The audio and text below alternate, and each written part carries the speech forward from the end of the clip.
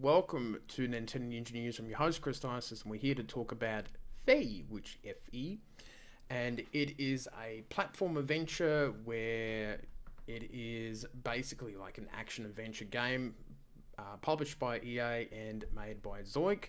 It looks like a very nice, uh, beautiful little game. It says here in the description the heart of the experience is a tactile analog song mechanic that allows you to communicate and speak to every living thing in the forest.